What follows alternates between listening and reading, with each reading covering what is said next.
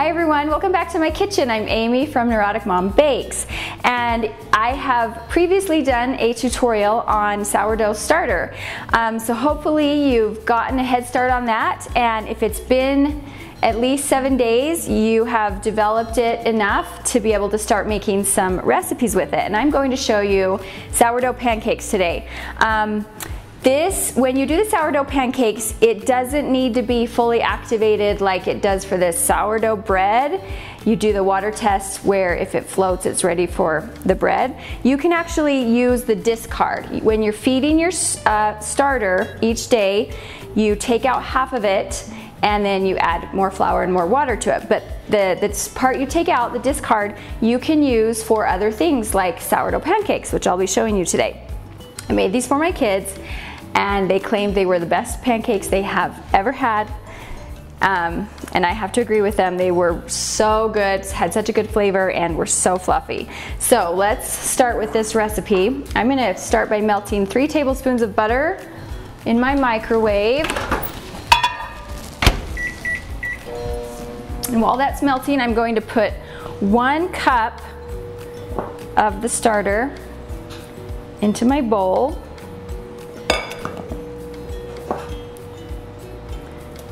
So now after you take that out, you're going to want to feed this again. And we're gonna um, add one cup of buttermilk.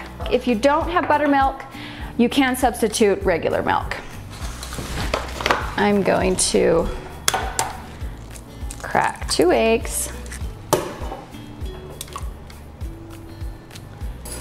Okay, now I'm gonna add two tablespoons of sugar. A teaspoon of vanilla. And now my butter should be melted.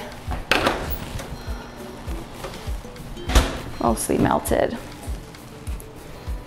I'm going to whisk all of this first and then I'll add my flour.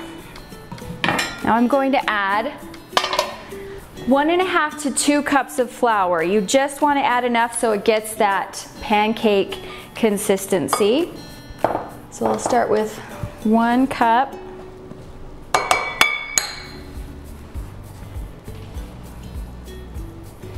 Not too thick, not too thin. This is not like regular pancake batter where you just whip it up and, and make your pancakes. This needs some time to sit and develop. Um, you're going to let this sit for a minimum of 30 minutes on your counter, or if you want a better flavor, more of the sourdough flavor, put it in your fridge overnight. So this is a good recipe to do the night before for breakfast the next morning. I'm gonna add a little more flour. So I have about another half of a cup here. That is just about perfect. Okay, so I'm just gonna cover this lightly and let it sit um, anywhere from 30 minutes to overnight in your fridge. 30 minutes if it's just on the counter. Okay, this has been sitting on my counter for about 30 minutes and right before you're going to put them on the griddle or your skillet, um, you're going to add some leavening agents. This will just help them get really puffy and fluffy. I have a teaspoon of powder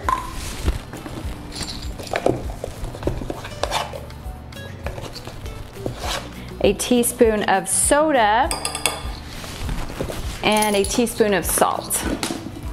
You're gonna stir those in right before you're ready to bake. If you feel like your batter has gotten too thick while it has been sitting there, feel free to add a little bit more buttermilk or regular milk, just a splash, just to thin it out a little bit if you feel like you need to. I have this on about 350 degrees and these will spread and puff up quite a bit so make sure you leave room in between. You can tell pancakes are ready to flip when they just start to look cooked on the outside. This is getting there. Ah, yes. And I'll just kind of flip them over and check to see if they're the same brown on the other side. And if they are, they're good to go. This will probably make about 16, 12 to 16 average size pancakes. You can half this recipe really easy, easily. I actually double it when I'm making breakfast for my family. And my seven-year-old, who usually can only eat barely one pancake, ate two and a half of these. They were that good. Okay friends, there you have it, my sourdough pancakes. I'd love to hear feedback on this recipe. I hope you'll give it a try. And if you want to see more content like this, subscribe to my channel. You can also catch me on Instagram at Neurotic Mom.